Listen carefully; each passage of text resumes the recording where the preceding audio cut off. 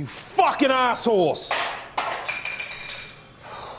Hey, Rick, what's going on, man? Oh, just getting fuck, fucked around by some glasses in the fucking trays as usual. Cocksuckers. Well, I just got off the phone with him, man. You know what, Julian? I think this is a wicked idea. There's no fucking way Bubbles is gonna do this, though, man. Well, he didn't say yes, yes, but he's he's pretty pumped about it. I, I mean, I told him what's going on. I didn't tell him everything, but that, you just let me do the talking. He's fucking in, man. I guess they got more footage of me being stupid in jail in a shortlier version. Check it out every Thursday at swearnet.com or on the new Trailer Park Boys SwearNet appy thing.